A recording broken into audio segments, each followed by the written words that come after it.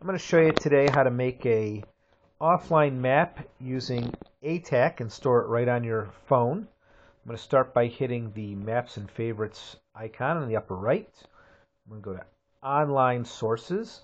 Uh, you see I'm looking at a uh, an offline map that I made earlier of OpenStreetMaps.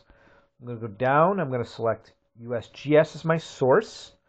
Now there I have the online map for USGS of Burlington. I'm going to move over and I'm going to select uh, the area that I want. There we go. I'm going to select uh, upper left, lower right.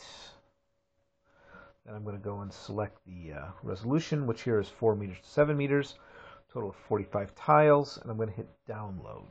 I have to create a new tile set, which I'm going to call Bedford. Give it whatever name you want. Uh, I'm going to add uh, USGS to that because I like to know what my source is of my map. And now I'm collecting that uh, those tiles. And uh, when I'm done, these are going to go in the uh, SD card atak slash layers directory. And I'll have an offline map of the Burlington area. Now, even though I only did uh, about 50 tiles here, uh, ATAK can do up to a quarter of a million tiles uh, in a single capture. So now I've moved to saved, and if I uh,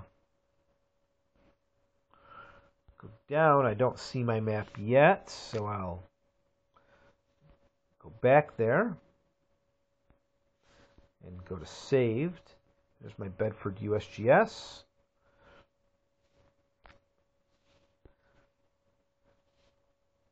And there we go. I probably should have saved better than the 7 meter. I should probably should have gone to 15 there. Um, but there you go. And I can shift to the earlier OpenStreetMaps that I did before as well, and it's uh, it's just that easy. Um, okay.